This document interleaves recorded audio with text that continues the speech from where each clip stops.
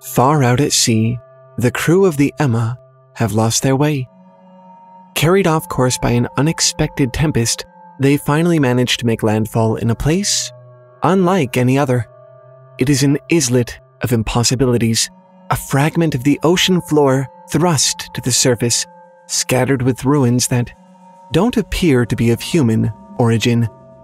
As they navigate the Cyclopean masonry, trying to understand this strange place, some of them vanish into the bizarre geometry of it, lost forever to the odd, unobservable angles within the stonework. The place is more than confusing. It literally doesn't make sense. Soon, amid all this strangeness, they find a great stone door, which, of course, they make the mistake of opening. What emerges from it cannot be described. There is no language for such abysms of shrieking and immemorial lunacy, such eldritch contradictions of all matter, force, and cosmic order. A mountain walked or stumbled. God, the thing of the idols, the green, sticky spawn of the stars, had awakened to claim his own. After vigintillions of years, great Cthulhu was loose again and ravening for delight. These sailors have found a fragment of the corpse city, R'lyeh, where an eldritch god lay dead and dreaming, waiting for this precise moment to return to the waking world. They couldn't have known. Even seeing it now, they can't. It defies their capacity for understanding. To be honest, not even I can tell you what they really saw. Not even after reading this story countless times, after seeing all the many versions of this monster artists have rendered since Lovecraft first wrote The Call of Cthulhu almost a century ago, I just couldn't say. Like, literally, I could not do it, even if I had seen the thing firsthand. Because, as familiar as we all probably are by now with our favorite great, big, green, winged, tentacle mouthed, ship battling old one, that's not really what this thing is. That's just how some cultists tried and failed to render it in the story. It's not even the mountain that walked or stumbled, the green, sticky star spawn that Lovecraft himself described. It can't be those things, because the first thing we're told is that it cannot be described. Cthulhu was never some monster for story protagonists to fight, for artists to render, it's not even Cthulhu, really. The name itself falls short. It's something far more terrifying than that. It is the ineffable, the thing which cannot be named.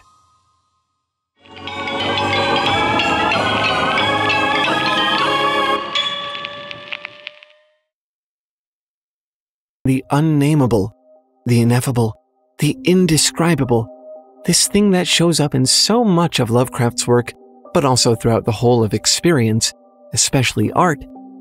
As we waded out into the shallows of this topic, bright eyed and bushy tailed, it quickly became apparent why so many of Lovecraft's characters go mad when they're confronted with this stuff.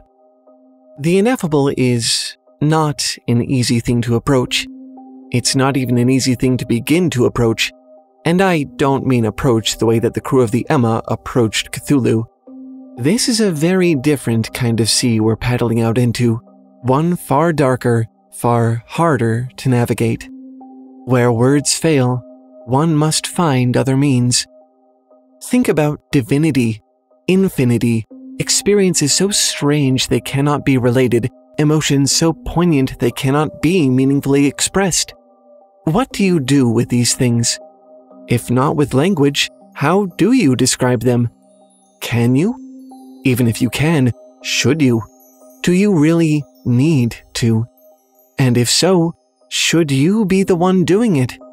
Is this the domain of scientists and philosophers, or of dreamers and artists? Is this all really a valiant quest for the truth?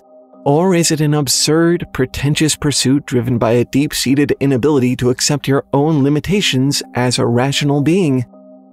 We're probably underqualified to give good answers to most of these questions, but we do, at least, have a starting place. The question we ended up asking is what does it even mean for something to be ineffable?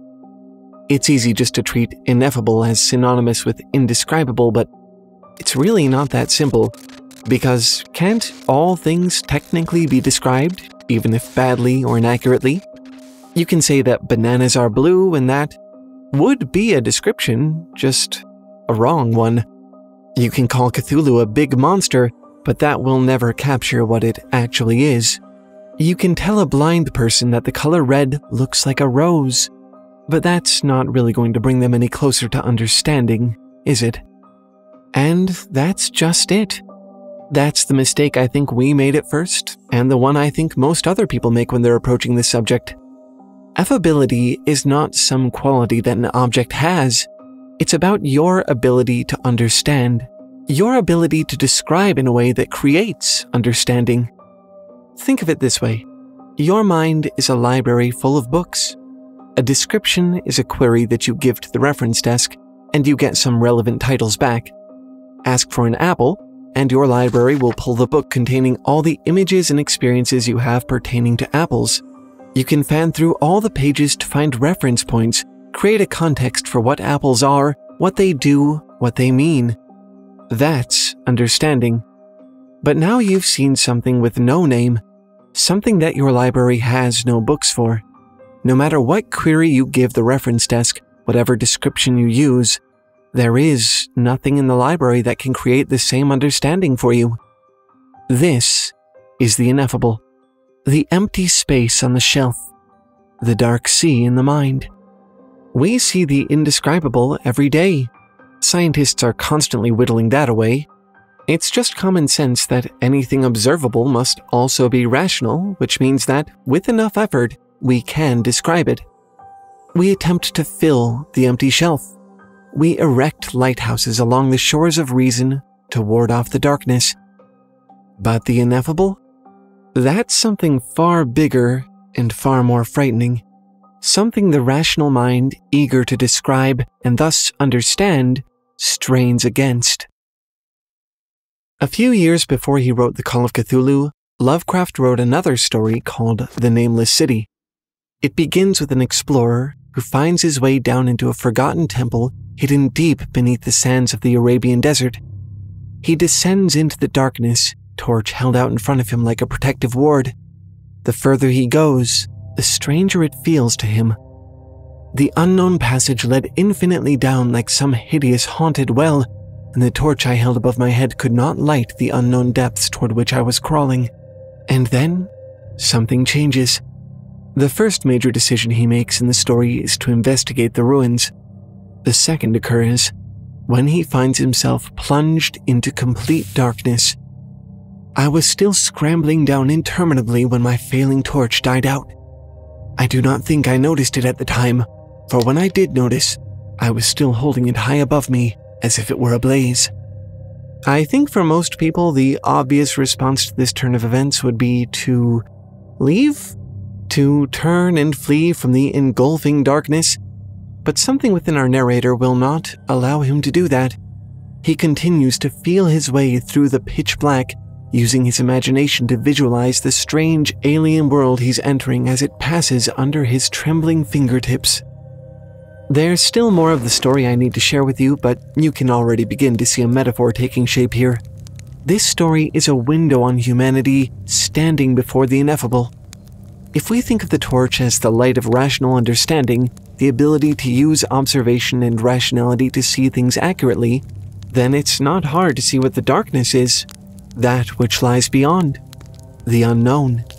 Of course, the torch is the tool you use to banish this darkness, but what happens when it fails? What happens when the tools you rely on to navigate and understand your reality no longer work? This is what it means to confront the ineffable. This is how it can feel. And when rationality fails you, you have the same choice as the explorer. Do you run from it, label it as an unknowable, and scramble away back toward the light? Or do you press on into the dark? To me, one of the most interesting parts of this conversation is the fact that so often people don't just turn away from the darkness. I said a minute ago that the obvious response would be to leave. I think that's true, But I also think there's an even stronger urge that makes people stay despite that internal reaction. I think there's a reason so many people try to write about or depict ineffable beings like Cthulhu, why poets and artists try to put language and pigment to things like emotion. Perhaps, more than familiarity or comfort, humans want power. A little over a year ago, we made a video about true names, which is a type of magic that shows up in a lot of stories. There's a lot of fun, mystical ideas in that video, but one of the core concepts is this. When you know something's true name, not just a descriptive term for it, but an accurate, encapsulating term, you can control it. To a certain extent, that's also true in real life. A name is a symbol that allows you to reduce the thing, reference it simply, it allows you to capture the identity of something much larger in just a few syllables. In a way, pretty much all languages like that. To describe something in words is to give it a name, to encapsulate it, make it small, give yourself some power over it. And maybe this is why people press on through the darkness, why they try to describe the ineffable, try to name the unnameable. I think it's natural to resist the idea that there are things which you will never be able to put into words, capture with a simple set of symbols. Not knowing the name of a thing means you have no power over it, and I think humans have a hard time accepting that. So much so, in fact, that you would rather grasp around in the pitch darkness than turn back and leave the thing unknown. Ultimately, I think it's a very understandable impulse to be a sentient being in a cosmos where sentience seems to mean very little is unnerving. Easy to feel as though you're adrift on a black and shifting ocean. Of course, you want to find some sources of light, gather what information you can, understand as much as possible. But of course, the light of rationality can only shine so far. Thus, our intrepid explorer finds himself grasping his way through the impenetrable darkness feeling this new world with his hands. And, strangely, it begins to work. The surfaces in the dark slowly begin to reveal themselves through a dim, barely perceptible phosphorescence. What he sees in that pseudo light, he can hardly fathom. Glass cases full of mummified corpses, lavishly robed, bedecked with jewels, and entirely alien. The best word he can think of to describe them is reptile but he knows it's pathetically inadequate for the strangeness before him. As he follows the growing light, he discovers a staircase. At its bottom, nothing. No, not nothing. Blindness. More absolute than the dark. The path descends into an abyss of uniform radiance. Through it, he can just see the outline of a doorway from which this strange light is emanating. A moan reverberates from beyond the threshold like the voices of distant, condemned spirits.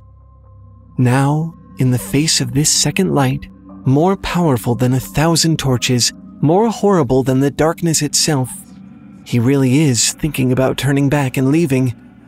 But it's too late. A strong wind is suddenly pulling him in toward the door, toward the gaping maw of the light. As he draws near, he catches sight of something within the radiance. I saw outlined against the luminous ether of the abyss what could not be seen against the dusk of the corridor. A nightmare horde of rushing devils, hate distorted, grotesquely panoplied, half transparent, devils of a race no man might mistake, the crawling reptiles of the nameless city. And then, in an instant, the wind dies away and the door slams shut sparing him the egress into the world of the second light and plunging him back into darkness. A darkness now, perhaps, more comforting. Shaken, horrified, he climbs back out to the desert. But the light of day will never feel the same to him again. It's uncomfortable to stand in the dark.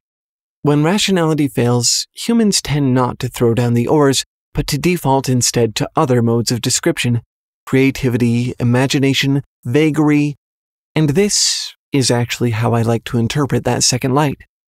In the end, it's not his torch which illuminates the strangeness, the nightmare, It's this otherworldly radiance shining from a place no human can fully comprehend. One way to read this story is that the Nameless City is really a warning, a demonstration of human limitations, a caution against straying beyond the bounds of rationality, against letting the imagination take control in our quest to name the unnameable, to put words to the ineffable. As we imagine this tiny, frail explorer crawling back out from the mouth of madness, shaken, mind ruined, I think we can say one thing for sure. Perhaps he shouldn't have done that. Maybe his meager torch was never meant to carry him into those lightless depths. And perhaps yours isn't either? Perhaps you should retreat when the darkness sets in, when the light of rationality gutters.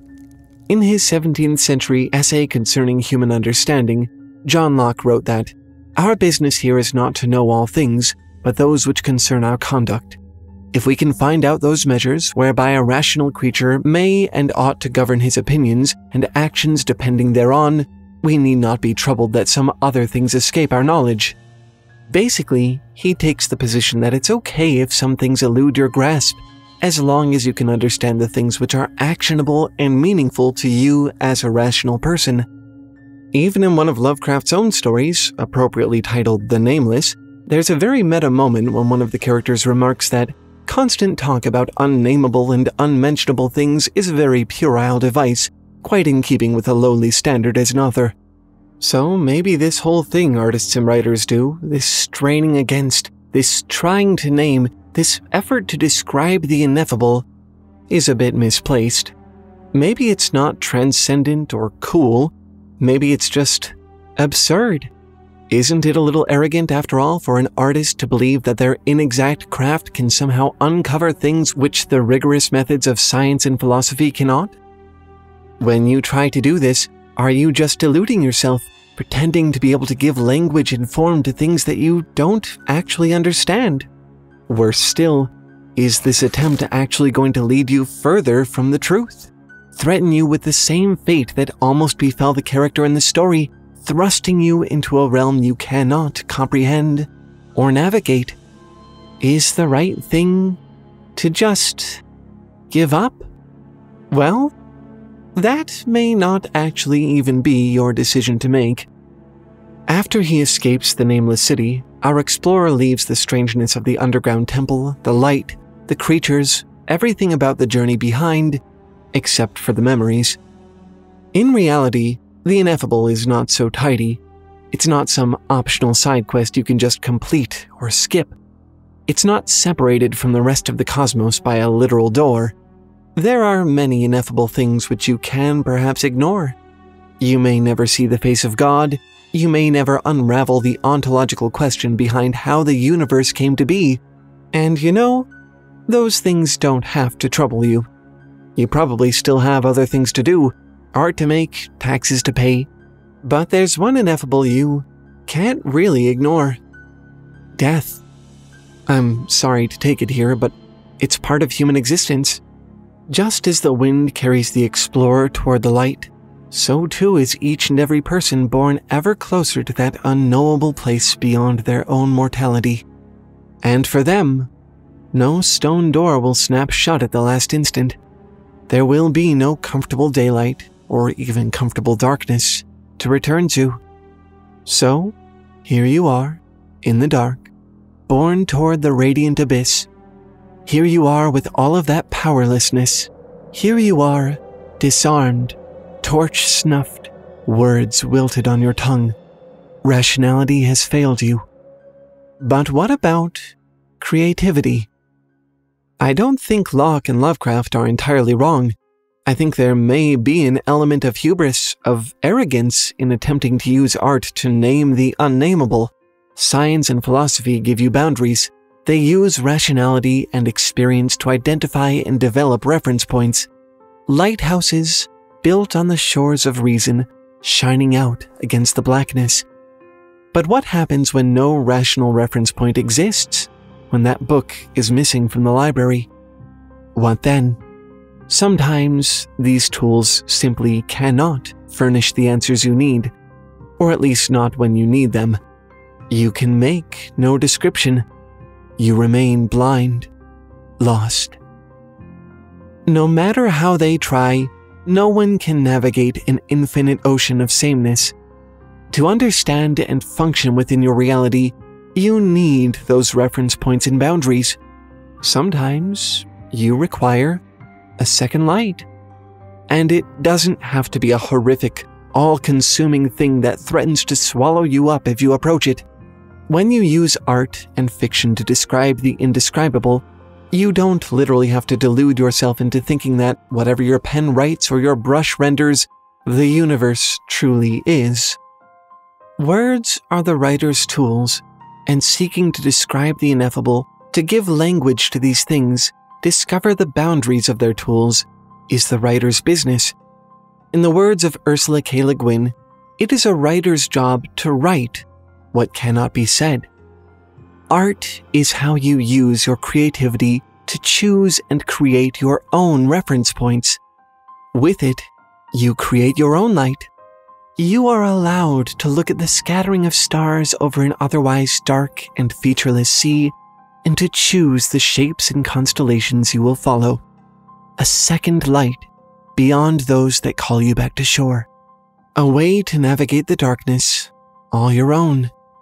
And who knows what you may find.